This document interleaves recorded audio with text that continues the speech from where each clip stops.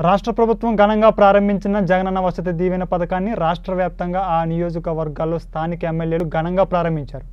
దీనిలో భాగంగా తూర్పుగోదావరి జిల్లా శంఖవరంలో ప్రతిపాడి ఎమ్మెల్యే పర్వత పూర్ణచంద్ర ప్రసాద్ జగనన్న వసతి దీవెన కార్యక్రమాన్ని ప్రారంభించారు. ఈ సందర్భంగా ఆయన మాట్లాడుతూ సీఎం వైఎస్ జగన్ ఇచ్చిన ప్రతి హామీలను నెరవేర్చే దిశగా పరిపాలన కొనసాగిస్తున్నారన్నారు.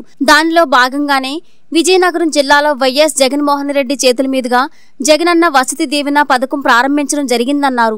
పేద విద్యార్థుల చదువులకు ఆటంకం కలగకుండా ఈ పథకం ఆసరాగా నిలుస్తుందన్నారు.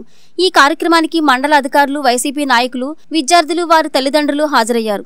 జగనన్న గారు పెట్టిన ఈ వసతి దీవెన పథకం అందరికీ చాలా ఉపయోగపడుతుంది. ముఖ్యంగా దూర ప్రాంతాల నుంచి వచ్చే వాళ్ళు కూడా చాలా వరకు ఉపయోగపడుతుంది.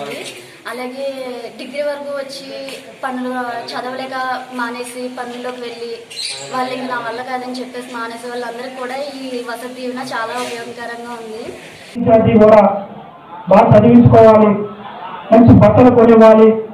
మంచి బుక్స్ కొనివ్వాలి. అందరి పిల్లలకు మళ్ళీ మా పిల్లలు కూడా పాపం చదివించుకోవడానికి ఆర్థిక సాయం లేక చాలా మంది పిల్లల్ని బండ్లు మార్పించేసి ఊరి కూడా ఎట్టి సాగిరి కూడా పంపుతున్నారని గమనించిన వ్యక్తి అంటే మన జగన్ అన్న మరి అలాంటి పేద విద్యార్థుల కోసం మనం తల్లికి సాయం చేయాలనే ఉద్దేశంతో మరి సంవత్సరానికి పదిహేను వేల రూపాయలు చొప్పున చదువు నిమిత్తం మీకు ఇవ్వడం జరుగుతుంది. అది మనం ఇచ్చినటువంటి పదిహేను వేల రూపాయలు. మరొక సంవత్సరం వచ్చేటప్పటికి మళ్ళా ఇంకొక పదిహేను వేల రూపాయలు. మీ పిల్లవాడు ఎంత చదువుకుంటూ టెన్త్ క్లాస్ వరకు వెళ్తాడో అంతకాలం కూడా పదిహేను వేల రూపాయలు చొప్పున ప్రతి సంవత్సరం వస్తాను అది